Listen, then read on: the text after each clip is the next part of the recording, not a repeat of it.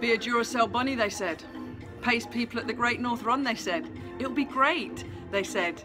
It's hard work, but what fun. Uh, Barry White's playing in the gym.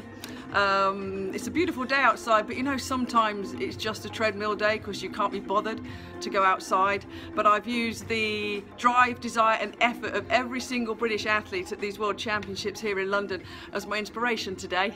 And I've gone my furthest ever. So I've done 8.3 miles. I'm really pleased with that. So now, um, gonna go off to work later, get some food, do a bit of prep. Last day of the World Championships. I've run my furthest ever.